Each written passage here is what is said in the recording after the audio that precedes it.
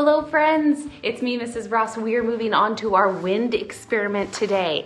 So I need you guys to get your paper out. We are actually gonna be doing a couple experiments. If the superheroes end up getting blown over. There's Legos, there's Toy Story, and the most important is the trash to see what happens to the trash when it just gets put all over the place, okay? So we've got a whole bunch of different experiments to do with one paper. So you guys get to choose one experiment, or you could actually do this at home after you watch all of our experiments, okay? Here we go.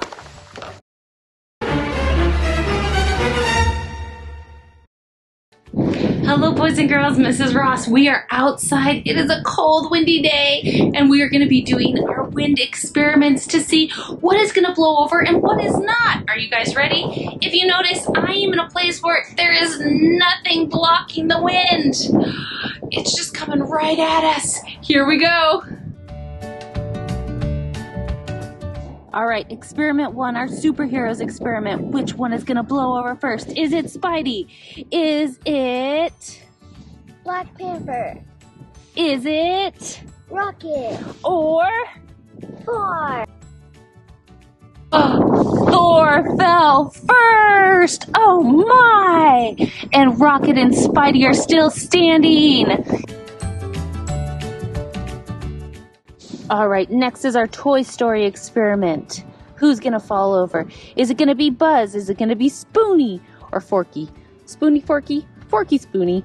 And we've got Woody and we've got the Daredevil at the end. Who's it gonna be? Let's see. Oh, Woody and the Daredevil at the end. We still have Forky and Buzz Lightyear standing. These are our Harry Potter Legos from our recent Harry Potter build. We've got Hermione, we've got, oh, Hermione went down first, then Hagrid, then Harry, but we still have Madame Humphries at the end who did not fall. Way to go. All right, our next test is our homework test.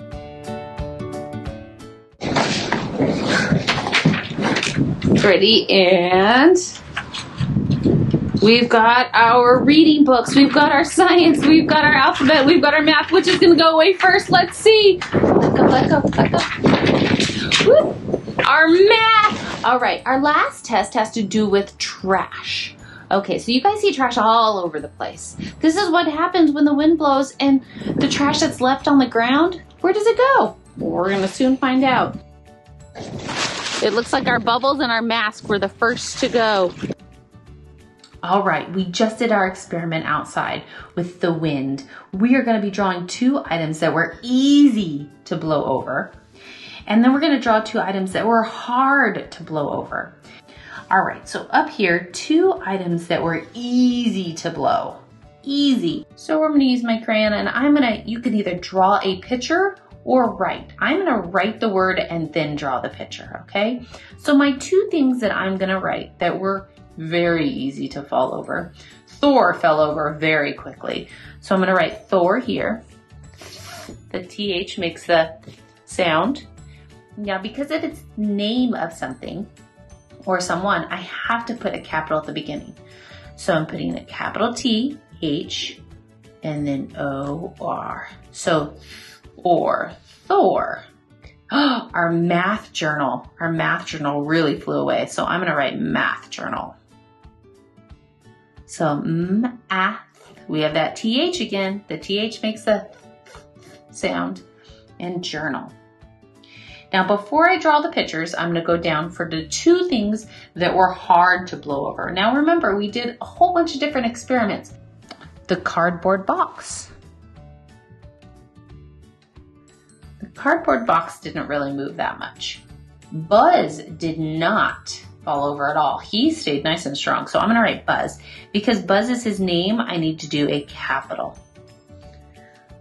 Buzz Lightyear. I'm just going to write Buzz. Okay, now at the bottom it says, color the types of weather found at this station. Well, the station we were at was at the top of a play structure, and I can tell you it was windy up there and it was freezing cold. But it wasn't snowy. We've got wind, We've got rain. There was no rain, there was some clouds up in the sky and the sun was out. So I'm actually going to be coloring each one of these. All right, now let's draw our pictures.